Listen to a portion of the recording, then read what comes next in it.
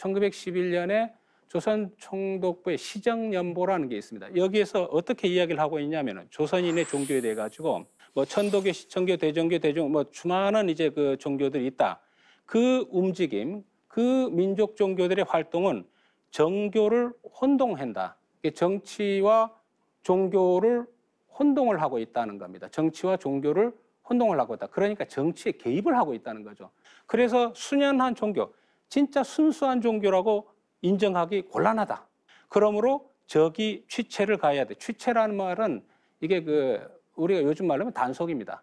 예, 단속을 예, 적절하게 단속을 이제 해야 되겠다라는 총독부의 의지가 보입니다. 그게 보이고 1915년이 되면서 종교와 유사 종교를 이제 분리합니다. 사실 이게 이제 우리 한국의 민족 종교에서는 상당히 그 아주 불편한 사실이죠, 이게.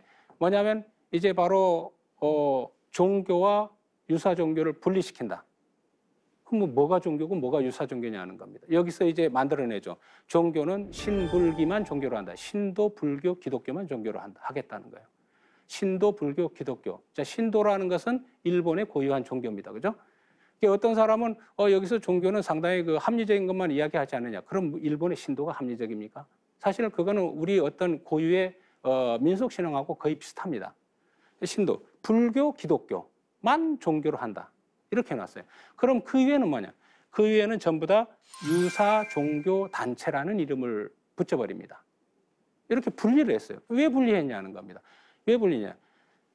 이 분리는 뭐냐면은 이제부터 통제를 해야 되겠는데, 아, 이게 종교라고 하면은 이게 저 서구에서도 자꾸 관심을 갖고 있기 때문에 이걸 함부로 누르다가는 이게 세계적으로 문제가 되기 때문에 여기에서는 강제를 합니다. 뭐냐면 정교 분리를 해야 된다.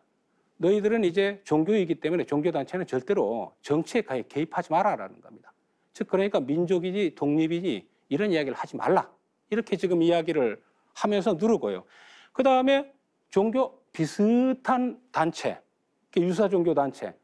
여기는 종교가 아니다고 보는 겁니다. 종교가 아니기 때문에 여기는 뭡니까? 경찰력을 개입을 하겠다는 거예요. 여기는 경, 찰력을 개입해가지고 이건 탄압을 하겠다는 겁니다. 종교의 자유? 그거는 종교일 때 자유를 주겠는 것이고 유사 종교에는 자유가 없다는 거예요. 이거는 경찰이 탄압을 해서 저기에 전부 다 이제 단속을 하겠다는 겁니다. 그러한 의도가 들어가 있는 것이 바로 이 포교 규칙입니다. 물론 포교 규칙은 민족 종교에만 해당되는 게 아니고 모든 종교에 다 해당이 되고 있습니다. 했지만 그 의도는 그런 의도를 갖고서 지금 나오고 있죠. 자,